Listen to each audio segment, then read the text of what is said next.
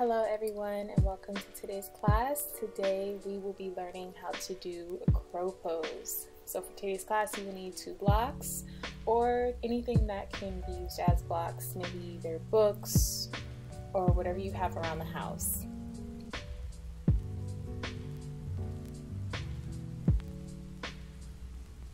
Okay, so now coming on all fours, first we are going to warm up the wrists. Spread your fingers out nice and wide, place them on the mat, and just find some big circles going in one direction. So we will do 10 seconds going one direction and 10 seconds going the opposite direction.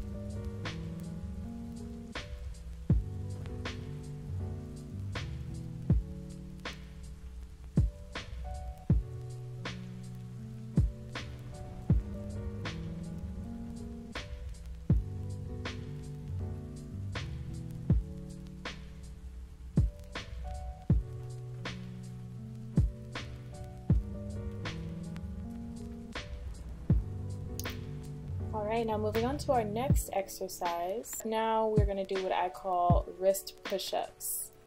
So you're going to lift high up onto the pads of the fingers, lifting the palm and knuckles up off the ground. This should give you a nice engagement as well as a stretch within your fingers. And it really, really helps to strengthen the wrists as well. So this is great for any inversion practice, downward dog, handstands, headstands. You definitely wanna make sure those wrists are nice and warmed up. So let's go ahead and do this 10 times, pausing after each lift. And when you're done, sit back on your heels and just go ahead and shake it out. Shake it as hard as you can. Get out any tension that may be there. Interlace all 10 fingers and let's circle the hand 10 times in one direction and then flip that direction, circling the hands the opposite way, going in a figure eight motion. And shake out the hands again. So now for our last warm up, go ahead and clench the fists and release. Clench, release, clench, release. Go a little bit faster, making sure that you're clenching and releasing all the way. Go a little faster, a little bit faster, and then go as fast as you go for 10, 9, 8, 7, 6, 5, 4, 3, 2, one. Good job, shake it out.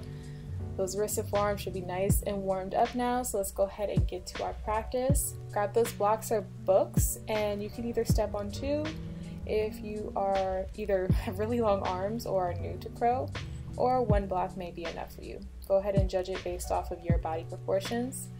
Take your knees up really high into almost the creases of your armpits. I like to take the knees as high as they can go so that you can be lifting the chin up which is very important. You want to make sure you're leaning forward and we lift our feet on the exhale. Just a little reminder for you guys. So we're going to start off by doing just some quick toe taps, lifting one leg and then the other, pulling that heel to glute. Just alternating sides, remembering chin up, lean forward, exhaling as you lift each foot. So exhale, and exhale and release. Alright, so now for our second time, you go ahead and stretch out your wrists in between each set.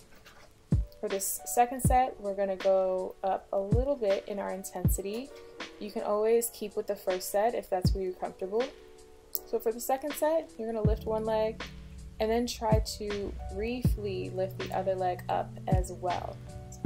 Exhale and at the bottom of the exhale you just lift the second foot up off the ground. So exhale exhale. Yep so you're kind of dragging out the inhales and exhales here making sure that we elongate those breaths. And you could just alternate with the feet so maybe you're lifting the right foot first and then briefly lifting the left and then go to the other side lifting the left foot and briefly lifting the right so go from side to side several times. I would say maybe like three times for each foot, six times total. Go ahead and stretch out the wrists if you need to. And let's prepare for our third set. Once again, taking those knees nice and high, turning forward. And let's see if we can exhale, lift both feet at the same time. Okay. So here, maybe you even want to ditch the block if you feel like you don't need it anymore. The block kind of just helps to get our momentum going forward. So you may not even need it to begin with. It's all dependent on you and your practice. Remember, it's inhale and exhale lift. Thank you guys so much for joining me today. That is it for our crow practice. Keep practicing. And remember, it's all about consistency and persistency. So I will see you guys next time. Go ahead and like, comment, and subscribe, and I will see you in the next video.